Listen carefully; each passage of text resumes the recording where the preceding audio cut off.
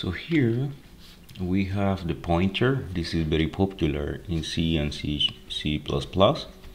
So here I'm gonna give you an explanation, more or less what it means. If you have question, please send me a message.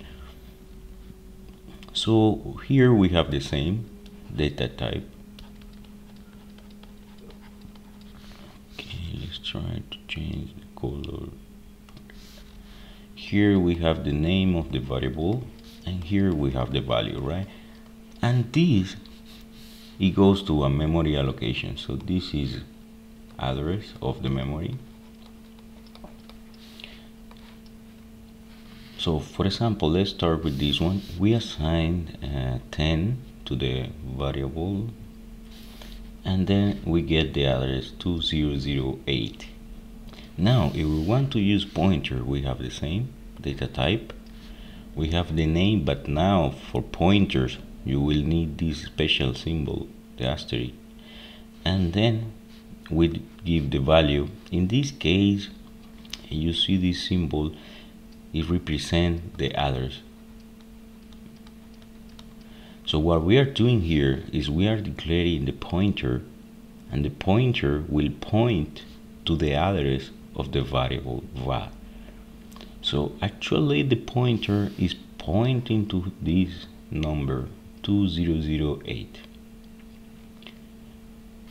after that after we assign the address in this example now we're gonna change the value to 20 so we go to the address 2008 and we assign we assign the number 20 so now the variable this one is equal to 20 why? Because we are changing the address. so now it disappear 10 and it become 20 so var is 20 in the same memory allocation. And then we have here a second pointer of a pointer so this is another one. So here we are giving second pointer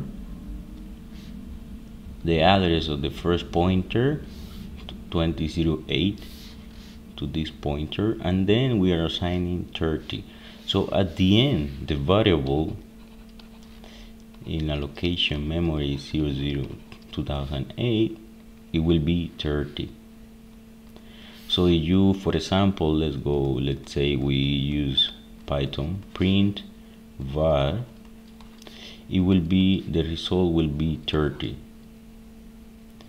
because we change the pointers the pointers are changing right away to memory allocation. So remember that about pointers we will try later on and explain it in the code better so you can understand more